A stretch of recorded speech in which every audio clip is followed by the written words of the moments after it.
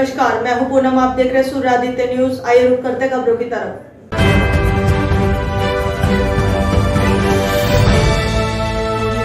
UP के बुलंदशहर के थाना जहांगीरपुर के गाँव गोविला में मृत पति का कर्ज चुकाने में असमर्थ विधवा महिला पर घर में घुसकर दबंग युवक ने तमचे से फायरिंग की और महिला को जमकर गाली गलौज व मारपीट की है।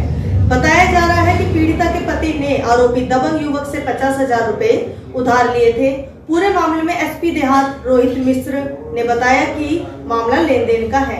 फ़िलहाल पूरे घटना की तहरीर के आधार पर मामला दर्ज कर लिया है। वहीं आरोपी की तलाश जारी है। आरोपी को जल्द गिरफ़्तार कर जेल भेजा जाएगा। जो विधवा है उस पर फायरिंग की गई है। किस तरीके की घटना है? हाँ ये थाना जहांगीरपुर क्षेत्र में कल एक घटना हुई है जिसमें एक व्यक्ति के द्वारा जाकर ये कहते हुए कि हमारा पैसा आपके द्वारा नहीं दिया जा रहा है।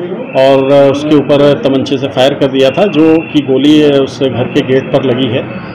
बाद में ये जानकारी से ज्ञात हुआ कि उस लेडी के जो हस्बैंड थे, उन्होंने पैसा उस व्यक्ति से लिया था, उसका यही आरोप है, जिसने फायर किया था, और उसी पैसे की वो मांग कर रहा था। इस सूचना पर तत्काल पुलिस पहुँची थी, और इस पर कार्रवाई की गई, एफआईआर इसमें दर्ज कर ली गई, और अतिशीघ्र इसकी गिरफ्तारी करके आवश्यक विधि कार्रवाई की जाएगी।